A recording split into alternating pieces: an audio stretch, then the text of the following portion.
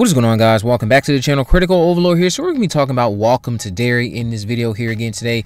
We got a first look at Welcome to Derry thanks to a new sizzle reel or whatever you want to call it that came out today from Max showing their upcoming 24 upcoming 2024 and 2025 slate of projects. Now, the footage wants you to know that this ain't America, this is Derry. According to some character who said this in the footage that was released, it was really short, really short because again, it was basically part of a showcase of their upcoming slate for the year 2024 and 2025 more than anything else.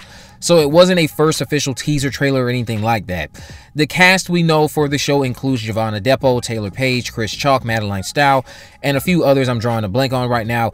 There's actually more footage from filming that exists online because we know that they were filming prior to the strikes. They're going to resume filming, which I'll get into that shortly here. There's some footage online, though, of these kids in town during filming jumping another kid and it just highlights some of the locations that we are likely to explore in this show. So if you want to see that video i'll leave a link to it in the description for those who missed that in the past. Filming for the upcoming prequel series to andy muschietti's 2017 and 2019 films is expected to resume on January 24th and it will last until June 28th according to the Directors Guild of Canada hot list.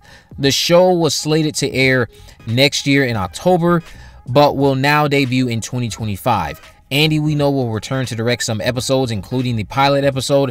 And here are the plot details that Production Weekly previously reported on. So, Welcome to Derry is set in the 1960s. Four kids in a town bordering an Air Force base with a mysterious special projects bunker search for a friend of theirs who disappeared mysteriously. Now, there's a moment in the footage that was dropped where a hand seems to grab a boy so, is this the disappearing friend in question? That's a possibility. We get another look at what I can only assume is Pennywise taking the form of someone's dead wife or someone's mother. There's a shot of the iconic red balloon.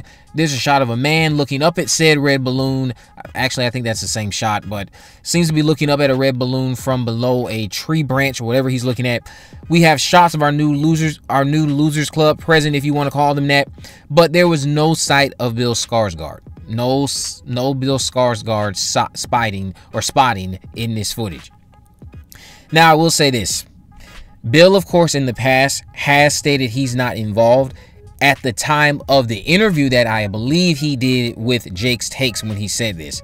But then Jeff Sneider, who has been right on several occasions, says that he's heard Skarsgård is working on a deal to return despite his initial claims. Now, granted, this was back in April when Jeff said this. I don't know if that has fizzled out or anything about that. I haven't heard too much on if Bill Skarsgård has actually inked the deal to appear in the upcoming project. I will probably know when you guys know.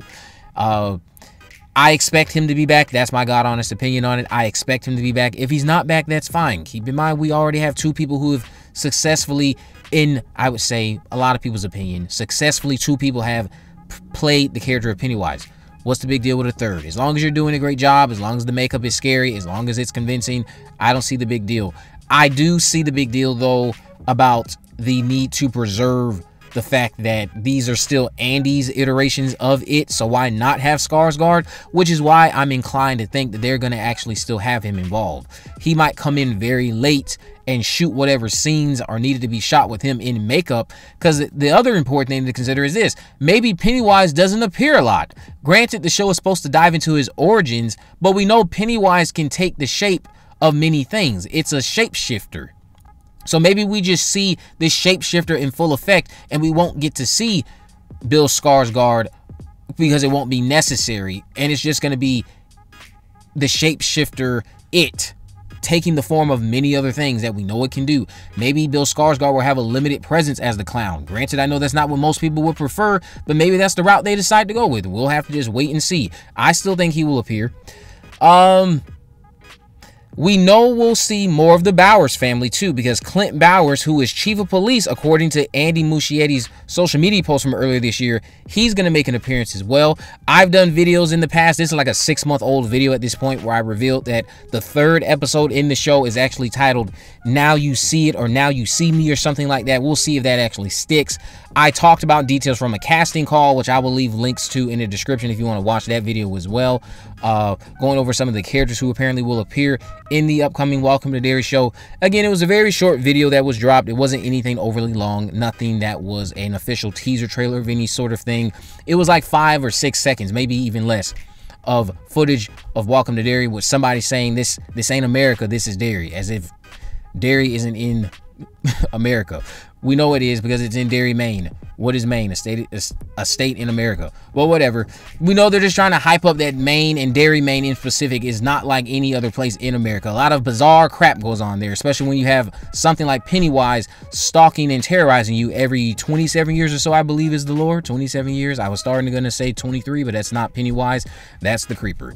But what did you guys think about the footage that came out? Did you like it? Did you not like it? Did you think it was just too short to really make up your mind on it? Do you care if Bill Skarsgård is going to be back or not?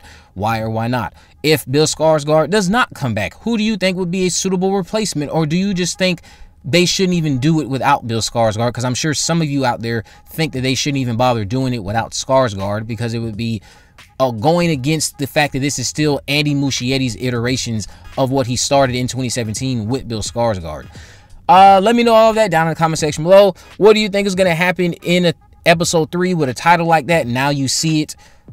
I'm assuming it would have something to do with Pennywise's origins. That's the safest bet I would have to assume right now without having more information. I do intend intend to do recaps of the show when it's airing on Max next not next year, but in 2025 it was supposed to air next year. Sadly, it's not.